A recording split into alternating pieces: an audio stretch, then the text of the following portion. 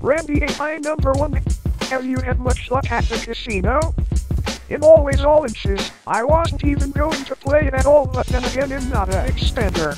I don't have any luck at all in or them really, except for being all in the right place at the right time.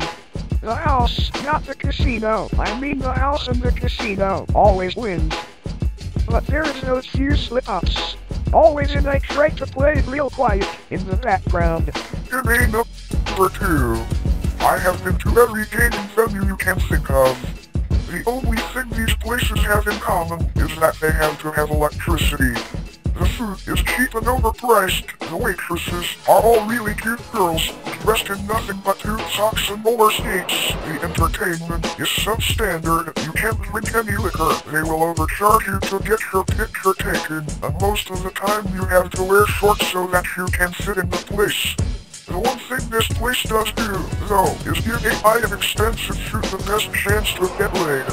If a girl can't take the chance of running into a guy who has a lot of money and is out to get someone to spend it, how are they going to survive in a world where the guys don't have money?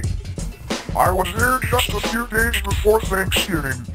While there were many people here who were dressed more modestly, or were dressed in the most conservative manner possible in short pants, there were also those, like me, who were dressed get laid. If you don't wear business clothes, they don't want to talk to you. If you wear business clothes, they will say anything to you. I had a woman approach me in the casino when I was at a poker table, which has a largish window where people can look in and see what is going on. The table was mostly people playing for fun. She said, Hey, I'm really excited to play poker tonight. I'm really bad at cards, but I can really watch what you do. This is when I turned around so that she could have a look at me. By this point, the other players could have been watching. What they saw, however, was someone who was dressed to get laid. No shorts, not much of a shirt, no tie. I mean, I didn't have a tie on because it was kind of freezing out and I figured I might need to make myself a sandwich or something. But you know what? If you came into my place of business and saw me with no tie on, I doubt anyone would have anything nice to say about me. So the reason I was dressed somewhat conservatively is because it is not only me, but also a good portion of those who dress that way. If you see anyone walking into the casino dressed in shorts, a t-shirt and flip-flop, you better take a good look at their ass. My point is not that you don't have to dress conservatively if you want to get laid.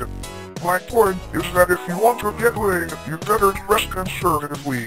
Or else you are going to get rejected. A man walking around the casino is not unusual.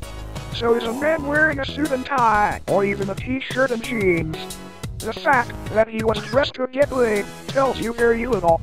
My suggestion would be to not go to the casino to get laid, and if you are, wear more clothing than you would be comfortable wearing in your living room. This also applies to the pool area and to the sports bar.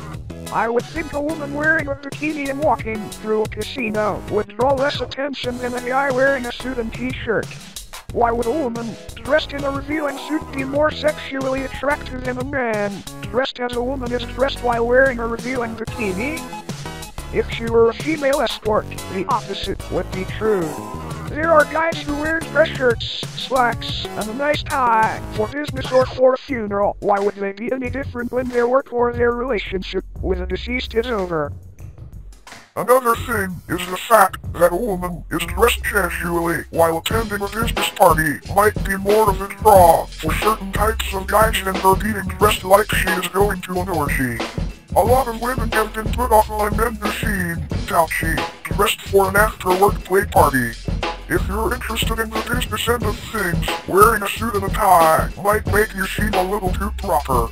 Also, another thing, in terms of your friend, is she wearing underwear?